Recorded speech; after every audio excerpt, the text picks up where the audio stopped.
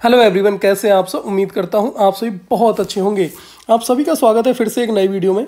आज आपके पास है मेधावी का फाइनल पेपर जो आपको पता है कि भाई किस तरीके से होने वाला है, जो कि कल है।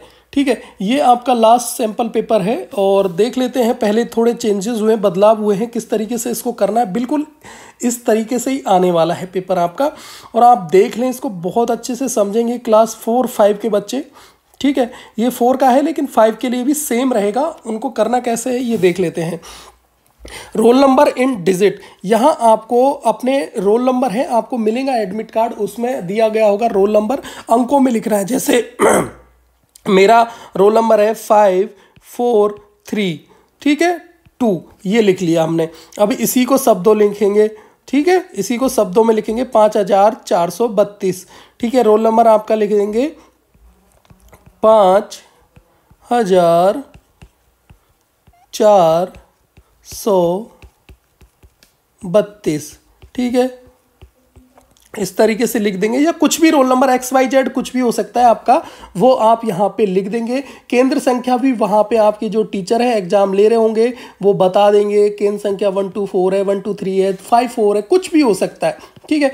ये चीज़ आपको अच्छे से लिखनी है। रोल नंबर अगर अगर आप अच्छे से लिखेंगे बच्चों तो आपका पेपर अच्छे से चेक होगा। रोल नंबर गलत लिख दिया, किसी और का लिख दिया तो आपको परेशानी आ जाएगी। चलिए, समय की बात कर लेते हैं। समय कितना रहेगा? हमारे पास दो घंटे का समय रहने वाला है। कितने घंटे का भाई? दो घंटे का समय रहने वाला है। और मैक्सिमम मार्क्स है। कितने मार्क्स का पेपर होगा? 120 नंबर का हमारा ये पेपर रहने वाला है। कितने का रहेगा भाई? 120 नंबर का। चलिए, देख लेते हैं कैसे कैसे कौन कौन सी जगह से हमारे प्रश्न आने वाले हैं। यहाँ पे भी लिखा हुआ है, इस पुस्तिका में साठ प्रश्न है, जिनमें से निम्नलिखित भाग शामिल हैं। अब देखिए, सामान्य जागरूकता जनरल अवेयरनेस या करंट अफेयरनेस करंट अफेयर्स में से आपको पूछे जाएँगे, हाल ही में करंट अफेयर्स क्या होते हैं? हाल ही में हुई घटना, भाई, अभी कहाँ भूकंप आया, कहाँ क्या हुआ, कहाँ क्या हो रहा है? ऐसे क्वेश्चन और जनरल अवेयरनेस के क्वेश्चन जैसे पूछ लिया जाए, भाई, दिल्ली के मुख्यमंत्री कौन है? भारत के प्रधानमंत्री कौन है? दिल्ली की राजधानी मतलब भारत की राजधानी क्या है? इस तरीके से क्वेश्चन आ जाएँगे। दस क्वेश्चन आएँगे नंबर रहेंगे बीस। ठीक है? रीजनिंग एबिलिटी के आपके यहाँ पे क्वेश्चन आएँगे, तार्किक योग्यता तो वो भी क्वेश्चन रहेंगे दस, उनके भी अंक रहेंगे बीस। मात्रात्मक योग्यता क्वांटिटिव एप्टीट्यूड यानी मैथ आपसे समझ लो तो यहाँ पे वो रहेंगे दस क्वेश्चन और वो भी बीस नंबर के रहेंगे। भाषा, हिंदी, उर्दू जो भी आपने चुना है, उसमें से पाँच क्वेश्चन रहेंगे दस नंबर के। भाषा सेकंड अंग्रेज़ी, उसके भी पाँच क्वेश्चन रहेंगे, वो भी दस नंबर के। और आपके जो किताबों में से आने वाला है, क्लास फोर फाइव के बच्चे ध्यान से सुनेंगे, ये जो आपका जो है सेट है बीस क्वेश्चंस का, ये आपकी अपनी किताबों में से आएगा। पांचवी वाले बच्चे हैं तो पांचवी वाली किताब में से आएगा, चौथी वाले बच्चे हैं चौथी वाली किताब में से आएगा।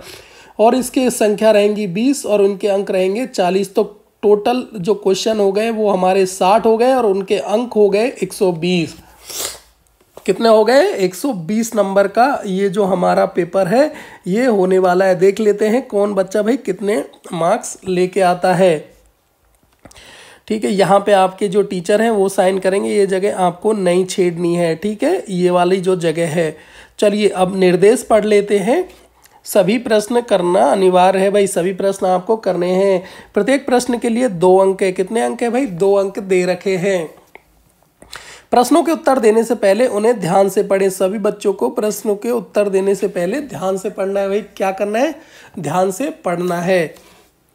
किसी भी प्रश्न के अंग्रेज़ी और हिंदी संस्करणों के बीच में किसी भी तरह की विसंगति के मामले में हिंदी संस्करण को अंतिम प्रामाणिक माना जाएगा भाई।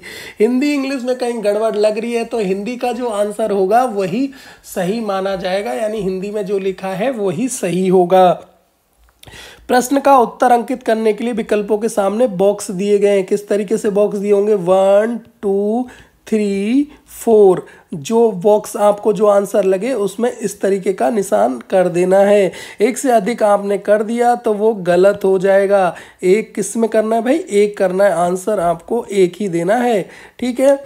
एक बॉक्स में आंसर देना है। एक में ही टिक करना है और अच्छे से टिक करना है। नीले या काले पेन का उपयोग कर सकते हैं। प्रश्न संख्या इकतीस से पैंतीस के लिए हिंदी या उर्दू में से किसी एक भाषा का प्रश्नों का उत्तर दे। भाई, आप उर्दू से हैं तो आप उर्दू में उत्तर दे लेंगे, भाई, आपने उर्दू चुना है अगर आप हिंदी में देने में कंफर्टेबल है, आपने हिंदी चुना है तो आप हिंदी भाषा में उत्तर देंगे.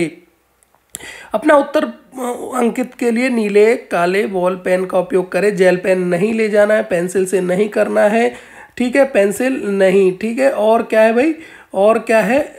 जेल पेन नहीं, जेल पेन नहीं चलेगा, ठीक है? ये नहीं चलेगा, पेंसिल नहीं चलेगी।